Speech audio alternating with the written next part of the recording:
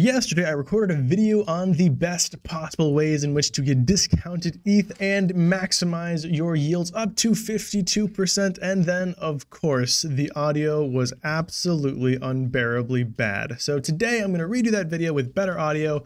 If you already watched it, hopefully this one will be a little bit more pleasant. I'm Steven, the calculator guy, founder of DeFi Dojo Discord, and let's just dive right on in. So this is the ETH Repegor spreadsheet where I effectively monitor all of the depeggedness of the Ethereum LSDs. LSDs meaning liquid staking derivatives. If you don't know what those are, please go and watch one of my videos on uh, Ethereum LSDs or just LSDs, liquid staking derivatives in DeFi. So here in column C, what you see is the uh, the amount of the derivative you can buy for one ETH. So you can see here you can buy 1.086 ETH2 for one ETH. You can also redeem uh, one ETH2 for one ETH, which means you could take one ETH, convert it to 1.086 ETH2, and then after Shanghai, convert that 1.086 9 ETH2 to 1.0869 ETH, effectively making a free 0.0869 Ethereum, which is why the expected ROI here is 8.7%, which is really good because if you annualize that, assuming Shanghai happens in the next two months, uh, that's 52%. That's where the um, the number for this video comes from. Now, I talked about this play uh, at this point uh, about a month ago, and that was back when ETH2 was at 0.8 ETH. So if you got in when I did that video, uh, congratulations, you're already up more than 10%, about 13 to 14% uh, ROI denominated in ETH since then. So congratulations, there's still plenty of meat on the bone, in my opinion here. Remember that uh, the major risk here is indeed KuCoin because KuCoin uh, owns Pool 2. So if KuCoin fails, Pool 2 fails as well, theoretically. Um, but you're really just betting on KuCoin staying solvent until after Shanghai. Now, you might be thinking, but but Steven, after Shanghai happens, everyone can't just convert their LSDs back to ETH plus yield. Uh, there's going to be a queue. There's going to be a waiting line. It's not going to be instantaneous. I say yes, of course. I agree. But after Shanghai, what I expect to happen is that once that queue starts, faith in the redeemability of these LSDs will increase, which will push these pegs close to parity. Parity just means back to their uh, true market value, which is effectively this, right? Each one of these should be worth this. The ones that are worth one are what we call rebasing LSDs. Uh, so you just get more of them over time. They don't increase in value. The other ones are value accrual, uh, where they just increase relative to ETH. That's why you see some that are one and some that are above one. All right, let's look at our ETH really quickly. I'm gonna have to go back to Curve uh, dumb, uh, stinking recording stuff. Uh, let me not be salty. You know, I, it's it's a blessing that I get to do this. Um, so even if I have to redo the video, honestly, I don't mind doing it. Uh, I have like the coolest job ever. So, anyways, ETH here. We're going to convert that to our ETH, our ETH being uh, not Rocket ETH, which is this one, but StaFi ETH, which is this one. Now you can see I have 1.05 because I converted one ETH uh, earlier, and that's how much I got. Now I think the peg is a little bit different. Yeah, it's down to 1.039. You know, I did this video yesterday. It was slightly better. Better deal for you guys, but of course the audio was absolute garbage. So I am sorry. I apologize. Uh, wish that audio wasn't so bad. Anyways, still plenty of meat on the bone here. Let's um let's look at what the new uh, discount is. Oh, 1.039. That's that means it's better, right? Let's see.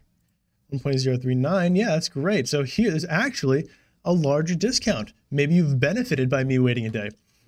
Uh, and this can handle a bit of so ETH2 and our ETH can handle up to like 100 ETH without moving the needle too far. You're still going to have nice discounts. You're still going to make a good ROI. But like stake ETH from persistence, you throw like two ETH in there, you're pushing that thing near peg. This one's really for like smaller accounts. Um, now persistence has been around for a while. I don't I don't have anything wrong with them. I think they you know they're multi-chain liquid staking protocol. Uh, they're they're perfectly fine.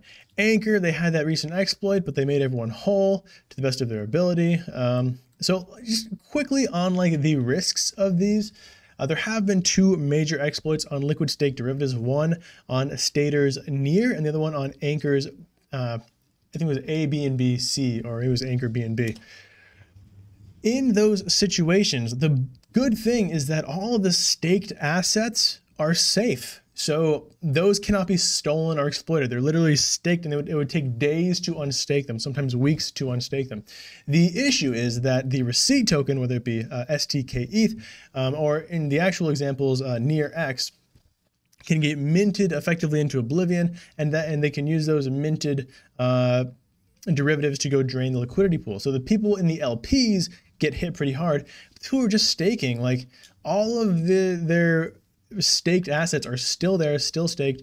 And so what these protocols do is they just make a, a, a, new contract and, you know, everyone is made whole effectively.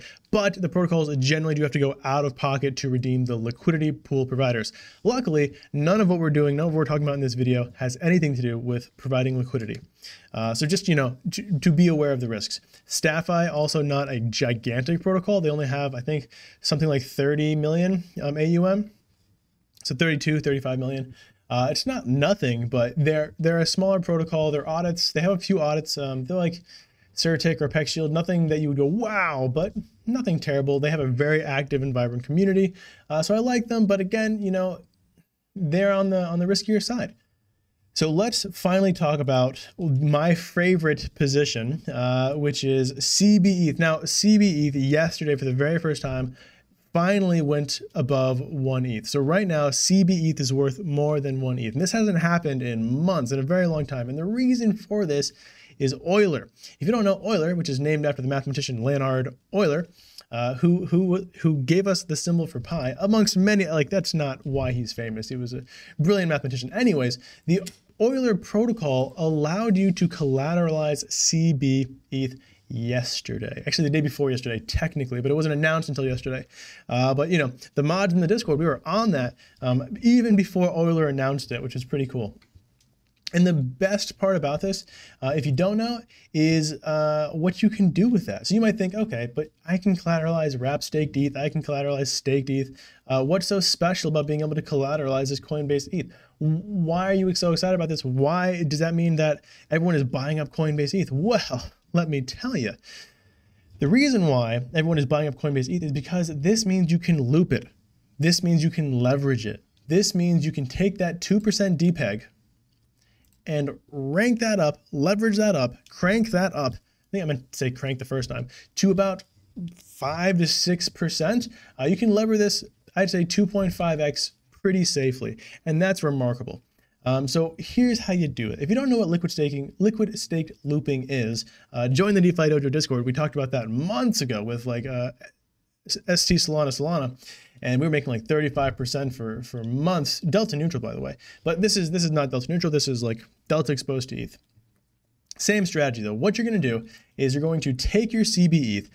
Well, First, you want to buy CB ETH because you're getting that discount, that nice 2%, because uh, it's depegged. So you take your ETH, buy CB ETH, right?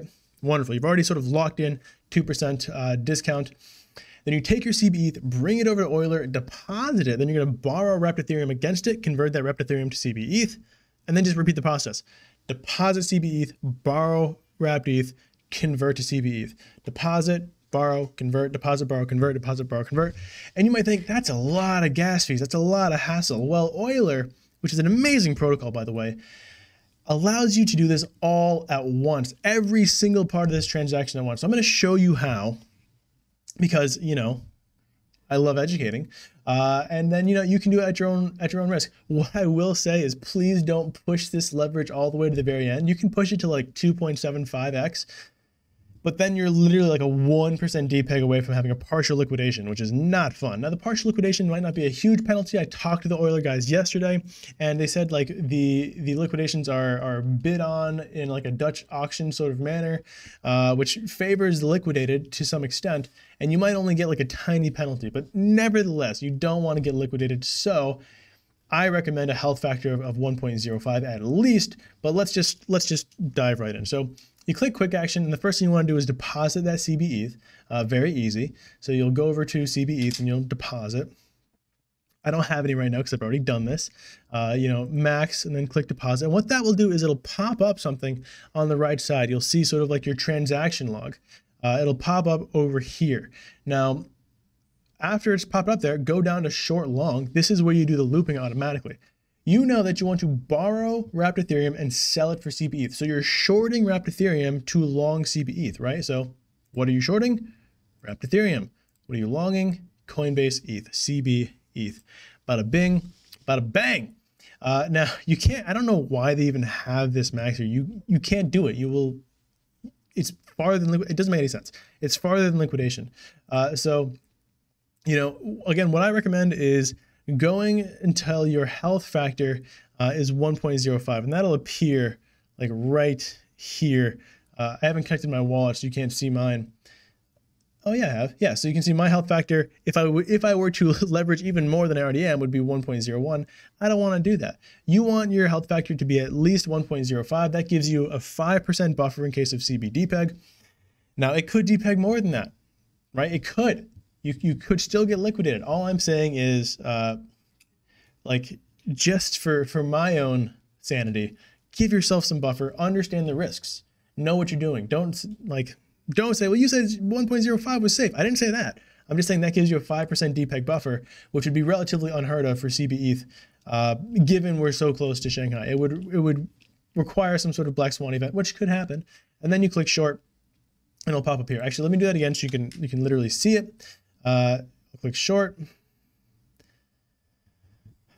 If it'll let me do it. Oh, one other thing you definitely want to do is go to your swap settings and put that put that slippage down to 0.1%.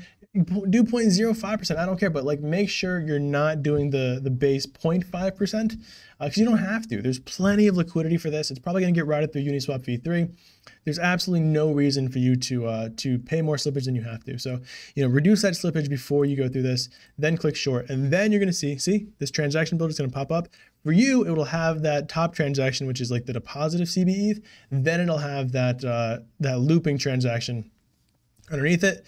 You can go to the bottom, send all transactions at once, which is really cool. Um, pay once for gas, the entire loop, the entire strategy done all at once. Really remarkable, uh, quite amazing, and um, and I love it. So so there you go. And that strategy should net you roughly between 5 and 7% ROI in CBETH uh, in two months. And if you want to really break down that math, um, it's pretty simple. Basically, you're getting uh, 2.5x leverage on the supply APY, which is like 10%, and then 10%, two months of 10% is something like 1.25%, uh, plus the depeg leverage up by 2.5, which is 2 times 2.5, which is something like 6 something.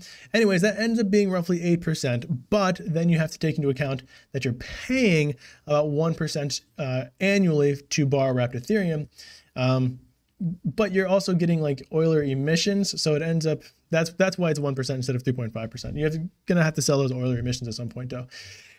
Regardless, like best case scenario, you're going to get around seven to six and a half percent. Worst case scenario, you're probably aiming for four to five percent ROI. Still really good for Coinbase ETH. Coinbase ETH can handle millions of dollars and not move the needle too much, um, unlike the other ones that can only really handle a few hundred thousand, or even only a few thousand in the case of STK ETH. Uh, so, so that's it. Really, these are these are great annualized yields. If you want to delta neutralize them, feel free to. Uh, I was looking at MEXC, very positive funding rate, uh, so which is nice. I'm sure the funding rate is probably even more positive right now. And you know, delta neutral, delta neutral, you still get some great ROIs. Uh, if you want to learn how to do that, if you want to talk about doing that, go ahead, join the DeFi Dojo Discord. We have uh, some of the best strategists in all of DeFi. They're now competing for best strategies, which is amazing for cash prizes. And I mean, we're doing stablecoin strategies, we're doing uh, delta neutral strategies, we're doing now long strategies. I think you'll enjoy. I think you'll love it. First month is free. If you don't like it, don't pay. Hope to see you there. I'm Steven, the calculator guy. Please have a wonderful rest of your day.